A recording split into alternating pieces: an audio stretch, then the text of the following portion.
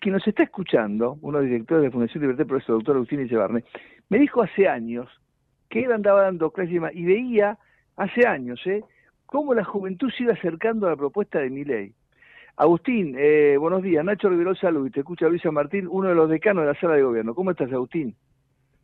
Muy bien, buen día, ¿cómo están ustedes? Un placer charlar. Bien, te quiero felicitar, porque yo eh, tuve la dicha por la invitación tan gentil de estar ahí, vi cómo te saludaba la gente, estabas con una total dedicación.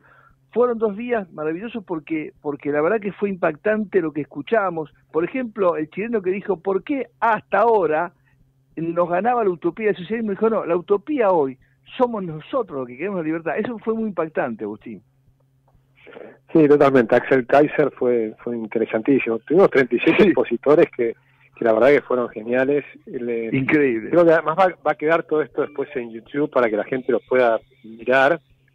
Pero pues yo creo que algunas cosas son incluso para mirarlas más de una vez. La charla de, Elon Musk realmente es interesantísima. Es un tipo que, que, entiende, que, que, que mira bajo el agua, es decir, se pasa el día leyendo, mirando, estudiando este, y, está viendo hacia dónde va el mundo. Y la velocidad del cambio que se viene es impresionante. Y por eso son una de las personas que, vale la pena seguirlas y escuchar a ver qué es lo que están pensando, porque realmente están cambiando el mundo. Y lo están cambiando a una velocidad inusitada. Yo tengo la suerte de tener al, premio Nobel James Heckman, que es especialista en capital humano, que continuó las tareas de Gary Becker. Y para mí es interesantísimo que los argentinos sigamos esas cosas, porque eh, tiene conceptos que nosotros venimos tratando de impulsar hace tiempo, pero que son importantísimos. Por ejemplo, entender que el presupuesto del Estado tiene que estar encarado para mejorar el capital humano. Entonces, ¿qué es lo que dice? El capital humano son los cerebros. Entonces tenés que, es mucho más interesante en vez de gastar en montones de planes sociales para mantener a la gente durante toda la vida, en concentrarte los primeros mil días donde se desarrolla el cerebro.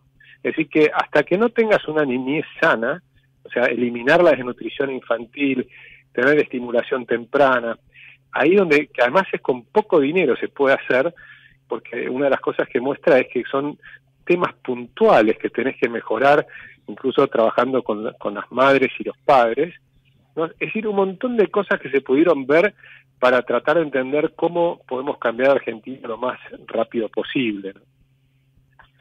Agustín, ¿sabes qué fue impactante? Que mientras esto sucedía estos dos días, afuera había gente que quería quemar la Plaza de los Congresos. Bueno, un senador dijo que, que, todo explote, eh, agitaban desde adentro, eh, porque claro, saben que, que hay un proceso de cambio en marcha Sí, mientras tanto estaba debatiendo estas ideas maravillosas, la americana, por ejemplo, que habló, todo lo que dijo Toto el, diagnóstico de Caputo, y dijo, no, mire, si no sabe no importa, porque los cambios en un tiempo más no van a conocer a Argentina, pero sin embargo afuera había, estaban las fuerzas del mal, no haciendo lo suyo, intentando al menos.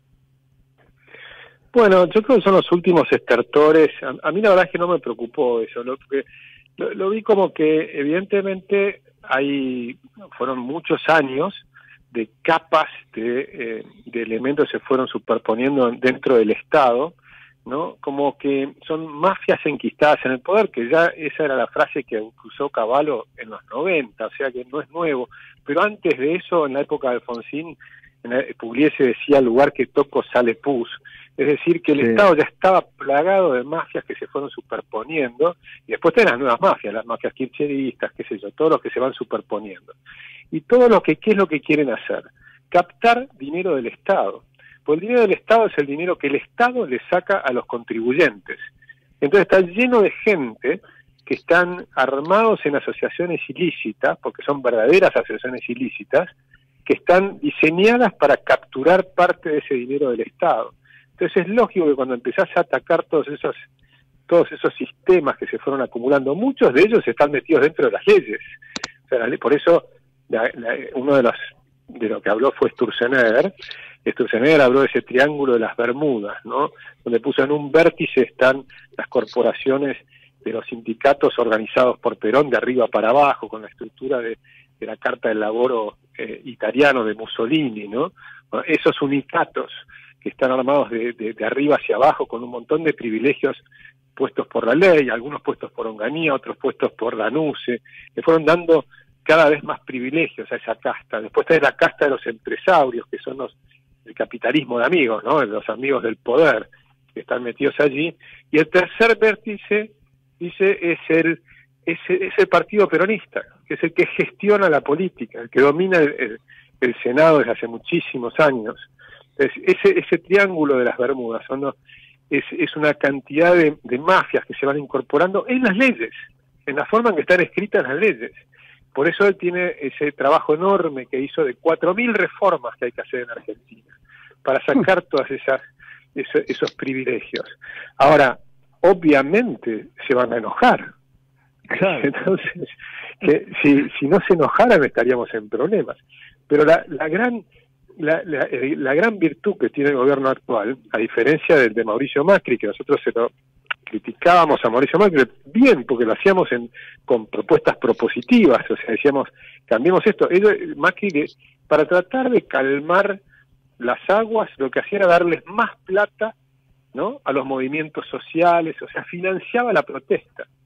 Y la protesta está organizada para hacer protesta para obtener más plata. Y si les das más plata, te hacían más protestas, no menos. Por eso, fíjate, es interesante que en realidad ahora hay menos protestas que antes si vos mirás en la cantidad de gente que hay en la calle hoy, hay menos que antes, por una cuestión muy simple, les cortó el financiamiento. Entonces entiende mucho mejor la lógica de cómo ir cambiando estas estructuras. Hay que cortar el financiamiento a los mafiosos. Y en todo caso, aumentó la, la asignación universal por hijo para darle directamente la plata a la gente que más lo necesita, pero sacando a los intermediarios. Los intermediarios son los que organizan las protestas, los que le pagan a la gente para ir a la calle con plata de los contribuyentes Agustín, y les se quejan en el 134 y dejan su testimonio terrible de cómo los extorsionan. En la línea 134 hay miles de testimonios, sí. Y por eso lo sabíamos perfectamente cuando uno va a esas manifestaciones y le preguntan a la gente por qué estás acá, ni saben por qué están ahí. Pero les toman lista, si no van, de, les cortan el plan social o les cortaban el plan social. Bueno, todas esas cosas que están cambiando, lógicamente van a generar del otro lado, eh, bueno, eh, enojos muy grandes, eh, denuncias, le tratan de hacer la cama, ¿viste? le tratan de, poner palos en la rueda. A nivel financiero, algunas movidas, ¿no? Algunas movidas. Y lo importante es que, a pesar de todo, todavía no es ley, ya Transportadoras del Sur anunció 700 millones de dólares en un gasoducto por el RI, eh, cómo se comporta el río Soberano, a pesar de las, las idas y vueltas de los últimos días, porque hay un rum rum, ¿viste? Están intentando sembrar desconcierto, pero cómo todavía no es ley, sin emergencia, sin nada, sin facultades delegadas, con poquito, con eh, ocho senadores y 35 diputados, la inflación como está y la, expectativa en el mundo de Argentina, ayer lo dijo Ayuso, se habla en todo el mundo de Argentina, lo dijo la, quien le dio el premio a Mireille en Madrid, ¿eso es realidad?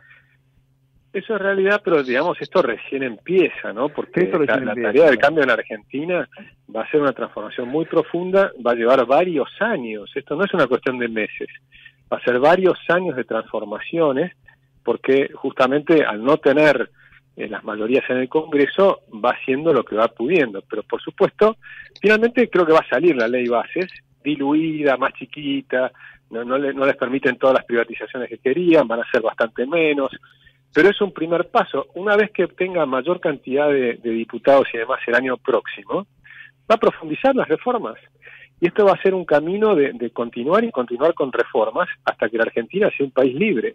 Hoy todavía es un país que no es libre, ni siquiera tenemos la libertad cambiaria, o sea, tiene que salir del cepo lo antes posible. Yo creo que este año necesariamente tenemos que salir del cepo, pero y tenemos que tener un tipo de cambio libre o la dolarización plena porque eso va a ser un cambio inmenso para la Argentina.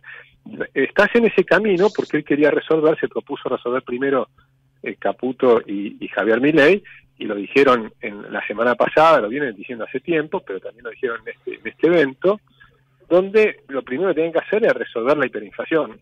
Y realmente estábamos en hiperinflación. Yo hablaba del proceso de la hiperinflación, porque hay como dos definiciones. Una definición de Philip Kagan que decía tenés que tener 50% mensual para considerar la hiperinflación.